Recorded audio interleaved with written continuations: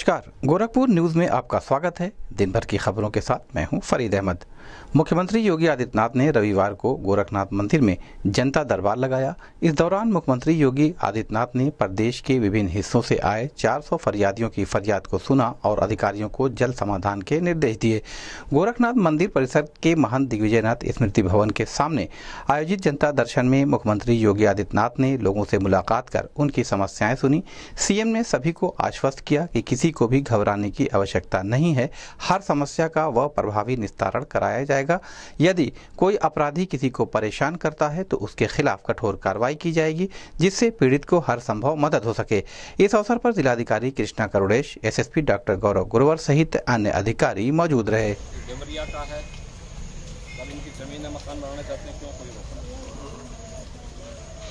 गया है? कौन मारा है? तो देखेंगे पीपी का थाना क्षेत्र। खबरा कर रहे कहाँ घर है मामला? बलिया को चिंता मत करो मैं कर रहा हूँ। हमेशा अपराध करते सर। नहीं सर चोरी चोरी चोरा खाना सर। सर और सवार होकर सब कहाँ पे? गोरखपुर आईटीएम गीडा के छात्रों ने सेना की रक्षा के लिए डिवाइस का निर्माण किया है। अब सेना के जवान कैंपों में चैन की नींद सो सकेंगे। कैंपों में रह रहे जवानों को आतंकी हमलों से डिवाइस सुरक्षित करेगा, जिसे smart anti attack army camp का नाम दिया गया है। कैंप में रहे आर्मी के जवान पहले से ज़्यादा सुरक्षित रहेंगे। इस डिवाइस में छात्रों ने कैमरा लगाया है, जो कि 360 डिग्री पर घूमते हुए आतंकियों पर नज़र रखेगा। आतंकी जैसे ही इसकी रेंज में आएँगे एंटी आर्मी कैप डिवाइसेस में लगे अत्याधुनिक गन उन पर फायर करना शुरू कर देगा और कैंप में सो रहे आर्मी के जवानों को तुरंत सूचना भी मिल जाएगी, क्योंकि इसमें लगा अलार्म भी बजना शुरू हो जाएगा। वहीं छात्रों का कहना है कि इसका मुख्य उद्देश्य अंधेरे और कैंप में रह रहे जवानों को आतंकी व नक्सली हमलों से सतर्क करना है। यह डिवाइस ऑटोमेटिक रूप से फायर करने में सक्षम होगा।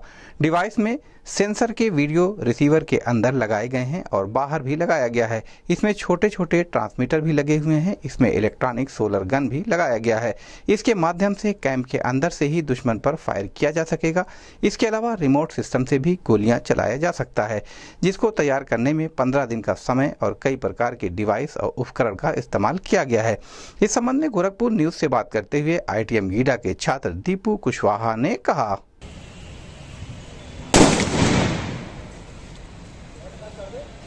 करो करो करो करो करो।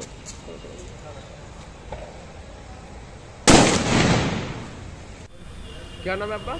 मेरा नाम दीपक कुशवाहा है और मैं आईटीएम कॉलेज के गीडा के गोरखपुर का छात्र हूँ और हम लोगों ने कुछ दिन पहले देखा कि जो जम्मू कश्मीर में हमला हुआ था आर्मी कैंप पे जैसे आर्मी के जवान अगर अंदर सो रहे हो चाहे कुछ अपना काम कर रहे हो तो नक्सली अटैक हो जाता है और आर्मी के जवानों पे आतंकी हमला हो जाता है। इससे हम लोग ने सोचा और अपने कैंपस में अपने सर लोग से बात किया और हम लोग ने एक कैंप बनाने का सोचा जिसका हम लोग ने एक कैंप बनाया जिसका नाम है anti army attack camp, smart army camp, जिसके तहत हम लोग ने ये बताया कि इस आर्म, इसमें अगर कोई, इसको स्मार्ट, पूरी तरह से हम कैंप को स्मार्ट बनाया और इससे हमने पूरे जवानों को सुरक्षित करने का एक निर्णय लिया, जिसे हमने इसमें बहुत सारे फीचर्स लगाए हैं, स्मार्ट फीचर्स लगाए हैं और हमने ये किया कि इसमें एक पूरे गन भी लगाया दो गन है, एक इस- बैरल, एक बैरल मल्टी बैरल गन है और उस गन के तहत हम लोग हम लोग अप डाउन उसको कर सकते हैं और फायर भी कर सकते हैं और एक ऊपर लगाए जो 360 पे मूव करके हम लोग फायर कर सकते हैं।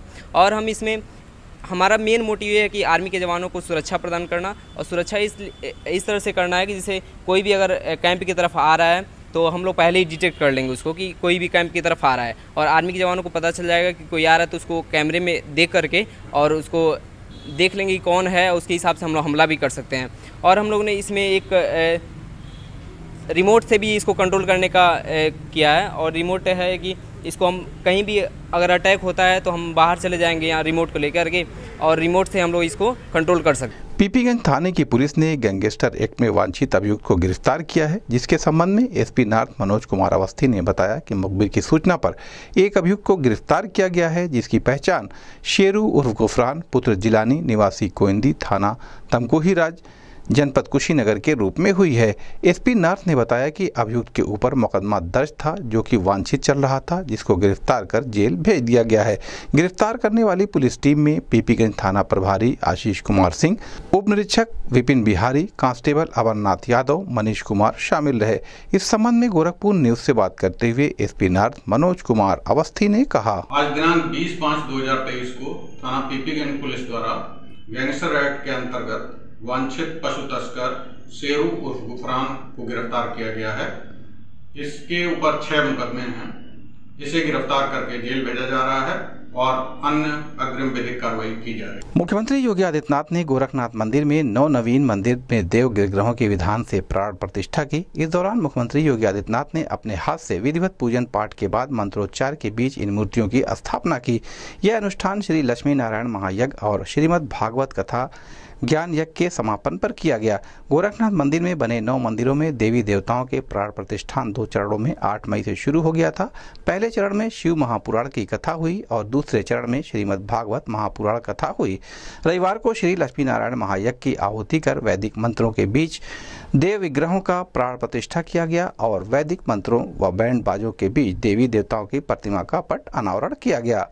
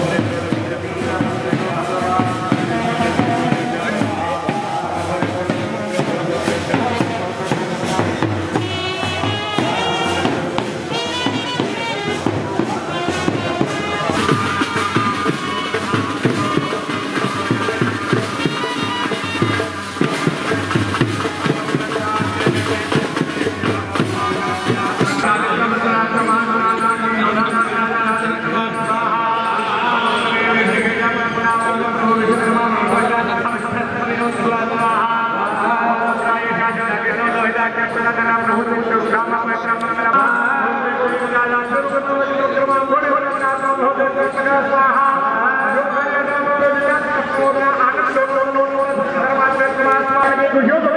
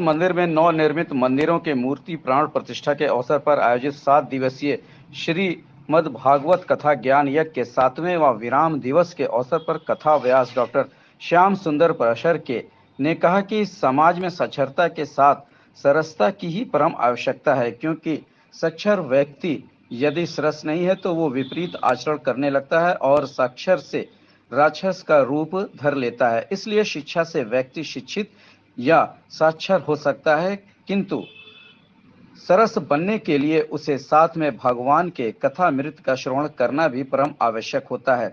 इसके द्वारा व्यक्ति के अंदर भक्ति का जो भाव जगता है, उससे वो संसार के प्रत्येक प्राणी में भगवत दर्शन करते हुए सभी के साथ प्रेम करने लगता है। लोके अर्थात जीव के धर्मभूत ज्ञान में विकार है, प्रकृति के स्वरूप में विकार है, लेकिन परमात्मा के प्रकृति और धर्मभूत ज्ञान में रंजमात्र विकार नहीं है, इसलिए पुरुषोत्तम कहते हैं। और आप यहाँ नवनिर्मित मंदिरों में दशावतार में अनुभव करेंगे कि भगवान नारायण का विराट स्वरूप है और विराट स्वरूप हमें विराटता का अनुभव कराता है। बंधुओं गोरक्ष पीठ में समग्र अपना सनातन धर्म सन्निहित है। यहाँ गौमा की सेवा, पंचदेवों की सेवा, विप्रों की सेवा गरीबनाथ की सेवा है यहाँ। बस भगवान के चरणों में, भागवत भगवान के चरणों में, और ये जो मंदिर बने इनमें, जो विराजित देवी देवता हैं, इन सबके चरणों में प्रार्थना है कि जैसा राज्य हमारे पूर्व राजाओं ने हमारे भारत देश को दिया था। सारी प्रजा को स्वर्ग तुल्य यहाँ सुख दिया था। हमारे राजाओं ने, हमारे ऋषियों ने साधन के लिए नहीं, बल्कि साध्य को पाने के लिए किया था। राजा प्रजा के आत्महित के लिए आयोजन करते थे, उपदेश देते थे। आज वही कार्य हमारे उत्तर प्रदेश के यशस्वी और परम कर्मठ के साथ वाणी को धन्यवाद भोज महाराज से और अब इसी सम्मानित मंच से और श्री लक्ष्मी नारायण महायज्ञ के पूर्णावधि कार्यक्रम के साथ ही श्री गोरखनाथ मंदिर परिसर में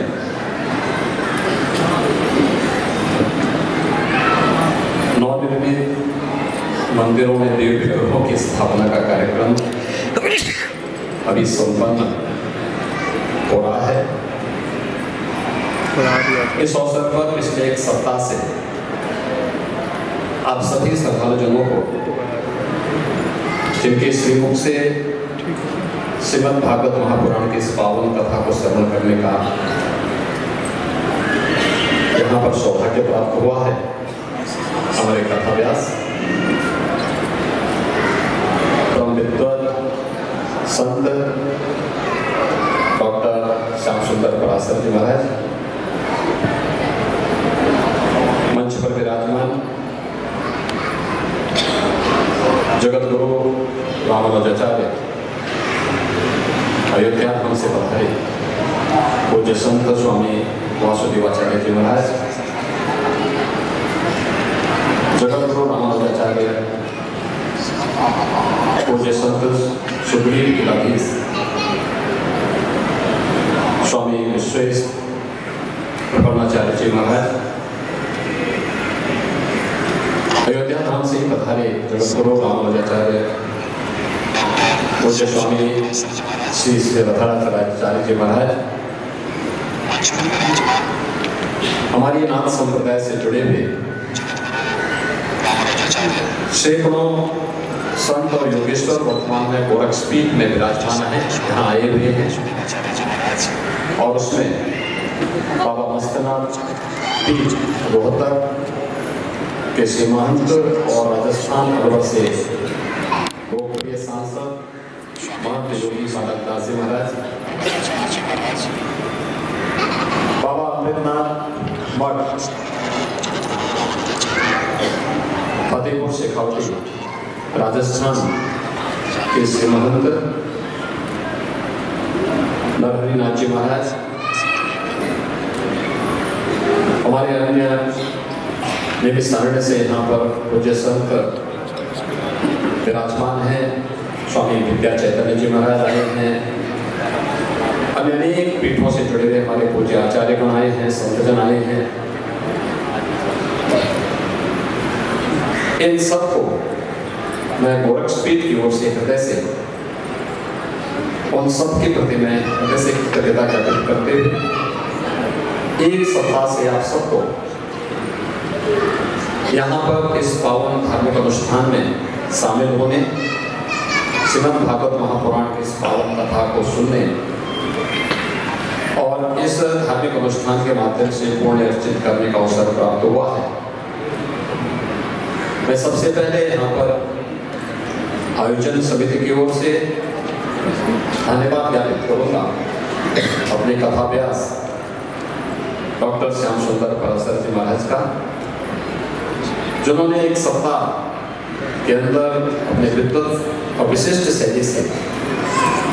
श्रीमद भागवत महापुराण की इस पावन कथा के श्रवण का अवसर आप सभी भक्तजनों को यहाँ पर उपलब्ध करवाया है। आपने देखा होगा कि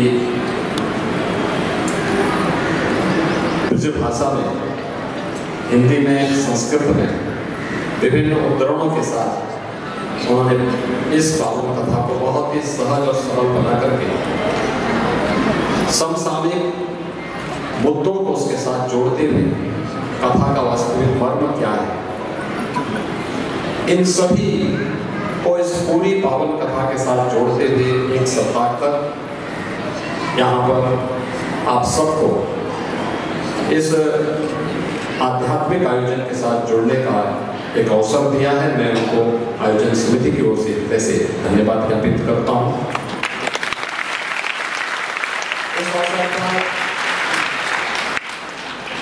श्री श्री लक्ष्मी नारायण महायज्ञ का भी आयोजन अभी पूर्णावती के साथ संपन्न हो रहा है। एक सप्ताह में पंद्रह मई को कलश यात्रा से आयोजन प्रारंभ हुआ। पंचांग पूजन के बाद कार्यक्रम आगे बढ़ा और आज देव प्रतिमाओं की प्राण प्रतिष्ठा के साथ ही पूर्णाहुति के साथ धार्मिक आयोजन आज विराम लेगा। इस अवसर पर जो हमारे आचार्यगण हैं, यजमानगण हैं, श्रद्धालुजन हैं, उन सभी को और इस पूरे आयोजन को सफलता की नई ऊंचाइयों तक पहुँचाने के योगदान देने वाले हमारे सभी पूज्य संत जन हैं। खासतौर पर यहाँ पिछले एक सप्ताह से यहाँ पर रहकर इस पूरे आयोजन को पूरे उत्साह के साथ, सफलता की नई ऊंचाइयों तक पहुँचाने में योगदान दे रहे हैं, अपने काशी से पधारे सतवा आश्रम के श्री महंत महामंडेश्वर, महंत संतोष दास जी महाराज, कालीबाड़ी के आपके परिचित मोहन जी हैं, रविंद्र दास जी महाराज, और हमारे यहाँ गोरक्षपीठ के हमारे गोरखनाथ मंदिर के जो प्रधान पुजारी हैं, योगी कमलनाथ जी उन सभी योगेश्वरों ने भी इस पूरे आयोजन के साथ इस कार्यक्रम को सफलता की नई ऊंचाइयों तक पहुँचाने में अपना योगदान किया है। उन सबको, सभी यजमान गणों को, आप सभी श्रद्धालुजनों को मैं इस अवसर पर इस पवित्र आयोजन के सकुशल संपन्न होने और आप सबकी उपस्थिति के लिए आप सबके प्रति अपनी शुभकामनाएँ व्यक्त करता हूँ। महायोगी भगवान गोरक्षनाथ जी से जो नौ मंदिरों में यहाँ पर देव विग्रह विराजमान हुए हैं, उन सबसे मैं यही प्रार्थना करूँगा कि इस यज्ञ का पुण्य आप सबको प्राप्त हो। इस कथा के माध्यम से और यज्ञ के माध्यम से जो भी पुण्य प्राप्त हो वह लोक मंगल के लिए, समाज कल्याण के लिए, राष्ट्र कल्याण के लिए हम सब उसको उपयोगी बना सकेंगे इस विश्वास के साथ। मैं एक बार फिर से आप सब के प्रति, कथा व्यास जी के प्रति, पूज्य संतों के प्रति और इस आयोजन के साथ प्रत्यक्ष और प्रत्यक्ष रूप से जुड़े हुए उन सभी महानुभावों के प्रति, जिन्होंने इस कार्यक्रम के साथ, पूरी सद्भावना के साथ जुड़ करके इस पूरे आयोजन को धर्म में आध्यात्म में बनाने का पूरा योगदान दिया है। उन सब के प्रति भी मैं हृदय से धन्यवाद ज्ञापित करता हूँ।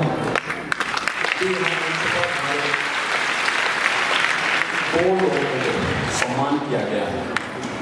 और वे दो, एक तो इस पूरे व्यवस्था के जो आर्किटेक्ट थे इंजीनियर अनुपम अग्रवाल कैसे मंदिर बनने हैं, उसकी माप क्या होनी चाहिए, वास्तु के अनुसार क्या कार्यक्रम होने चाहिए, ये सभी उन्होंने इसको पूरी तन्मयता के साथ जोड़कर विगत तीन वर्षों से वे नियमित यहाँ पे आकर के मंदिर से जुड़े हुए जो इंजीनियर थे उनके साथ मिलकर करके अन्य जो इस पूरे निर्माण कार्य के साथ जुड़े हुए लोग थे, उन सबको समय समय पर मार्गदर्शन करते रहे परिणाम था, एक समय सीमा के अंदर वे सभी मंदिर बनकर के तैयार थे और आज वहाँ पर देव विग्रहों की स्थापना का कार्यक्रम संपन्न हो रहा है। मंदिरों में देव प्रतिमाओं का का विराजमान होना और मंदिर की साइज़ के अनुरूप देव विग्रह भी और उन्हें व्यवस्थित रूप से स्थापित करने के लिए। पिछले कई दिनों से जयपुर से यहाँ पर जैमिनी मार्बल आर्ट के श्री मुकेश कुमार जैमिनी और श्री शिवम जैमिनी यहीं पर प्रवास करते हैं। सभी मूर्तियों को कैसे स्थापित करना है? और मूर्तियाँ अगर यद्यपि वे अब तो साक्षात यहाँ पर देव विग्रहों का प्रतीक बन चुकी है। लेकिन जब ये मूर्तियाँ वैसे भी आई थी। भारी भारी थी। यानी अगर हनुमान जी की मूर्ति का वज़न आप देखेंगे तो आप कम से कम सात से आठ कुंटल से कम नहीं है। लेकिन उस मूर्ति को सकुशल वहाँ तक पहुँचा देना अन्य मूर्तियों को भी देखेंगे। कोई पाँच कुंटल से कम नहीं, कोई तीन कुंटल, कोई एक कुंटल से कम तो कोई नहीं लेकिन उन सभी मूर्तियों को सकुशल वहाँ पर पहुँचा देना और उनके सौंदर्य में किसी भी प्रकार का कोई खरोच तक ना आए यह एक अद्भुत कला है। यानी मूर्ति बना देना, उनकी सजावट कर देना, लेकिन सजावट के साथ ही उन मूर्तियों को और मंदिरों की भी सजावट आपने देखा होगा, कितनी बहुत ही अच्छे उस पर उन्होंने करने का प्रयास किया है। मैं इसके लिए श्री मुकेश कुमार जैनी और उनके पुत्र और उनकी पूरी टीम को भी मैं हृदय से धन्यवाद ज्ञापित करता हूँ। इसके साथ ही जिन राजमिस्त्री और मजदूरों ने भी पूरी मजबूती के साथ मिलकर के काम किया। यहाँ पर के के कंस्ट्रक्शन के हमारे जगदीश आनंद जी और उनकी टीम ने, जो उनके राजमिस्त्री थे, उनके अन्य लोग थे, उन लोगों ने पूरी मजबूती के साथ जोड़ करके उन कार्यक्रमों को सफलतापूर्वक आगे बढ़ाने का कार्य किया। उन्हें भी मैं इस अवसर पर हृदय से धन्यवाद देता हूँ और विश्वास करता हूँ कि ये देव मंदिरों की स्थापना में हम लोग वास्तु का ध्यान तो रखते हैं। मूर्ति कैसे बननी चाहिए, इसका भी ध्यान रखने का प्रयास होता है। लेकिन उन मूर्तियों के संरक्षण के साथ साथ स्वच्छता के प्रति भी हम आग्रही बने। दूर से पूजा करें। क्योंकि ईश्वर तो सर्वत्र विराजमान है। उस मूर्ति को अपने अंतकरण में धारण करने का प्रयास है। और उसके माध्यम से फिर अंतकरण की शुद्धि अगर हो जाती है तो मान के चलिए कि सब कुछ हमने प्राप्त कर लिया है। और यह भाव आपको सभी देव मंदिरों में दर्शन करने के उपरांत अवश्य महसूस होगा। आज के इस अवसर पर मैं एक बार फिर से आयोजन समिति की ओर से तथा व्यास जी की प्रति, यज्ञाचार्यों के प्रति अपने पूज्य संतों के प्रति और आप सभी यजमान और भक्त गणों के प्रति भी हृदय से साधुवाद व्यक्त करते हुए आप सबके प्रति मैं अपनी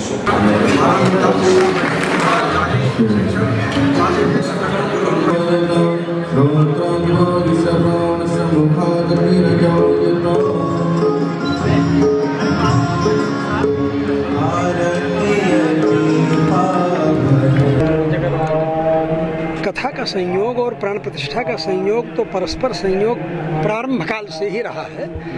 और प्राण प्रतिष्ठा के माध्यम से कथा भी हो रही है और कथा के माध्यम से वैदिक विद्वानों के द्वारा उच्चरित मंत्रों के माध्यम से प्रतिष्ठा भी हो रही है। नवग्रहों की प्रतिष्ठा भी है, देवी जी की भी प्रतिष्ठा भी है, हनुमान जी की भी पुनः विशेष रूप से प्रतिष्ठापना हो रही है और विशेष महत्वपूर्ण ढंग से हो रही है। ये लोकहित के लिए, जनहित के लिए, कल्याण की दृष्टि से ये प्रतिष्ठापना होती है कि लोग अधिक से अधिक लाभ है भागवत की कथा में स्वयं भगवान श्री कृष्ण ने उद्धव जी को उपदेश देते हुए कहा है कि जो हमारी प्रतिष्ठा करता है, वो सार्वभौम पद को प्राप्त करता है।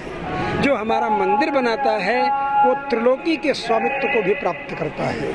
और जो पूजा आदि की व्यवस्था करता है, वो ब्रह्मलोक को प्राप्त करता है। और जो तीनों करता है, मंदिर भी बनाता है, प्रतिष्ठा भी करता है, और पूजा की व्यवस्था भी करता है, वो मेरे समान हो जाता है। इस तरह भगवान ने इस महत्व को रेखांकित किया है और इसीलिए जैसे राजा के पाँच रूप होते हैं, एक रूप से तो वह अपनी पत्नी के साथ, रानी के साथ ग्रीन रूम में रहता है, दूसरे रूप से वो न्यायालय में बैठकर न्याय करता है, तीसरे रूप से दिग्विजय यात्रा करता है, चौथे रूप से खुफिया बन करके अपने राज्य के अंदर क्या चल रहा है पता लगाता है और पाँचवें रूप में वो सिक्के के ऊपर भी रहता है राजा। उसी तरह भगवान जो हैं, भगवती लक्ष्मी के साथ रहते हैं तो ग्रीन रूम में रहते हैं, एकांत में कोई नहीं पहुँच सकता। जब क्षीर सागर में बैठते हैं, उस समय न्यायालय में रहते हैं, वहाँ देवता लोग अपनी प्रार्थनाएँ लेकर जाते हैं कि रावण सता रहा है, कुंभकर्ण सता रहा है, हिरण्यकशिपु सता रहा है। और भगवान दिग्विजय यात्रा भी करते हैं श्री राम के रूप में श्री कृष्ण के रूप में, जो अवतार होता है। विरोधी राजाओं का दमन करते हैं उस दिग्विजय यात्रा में, रावण, कुंभकर्ण हिरण कशपु आदि का।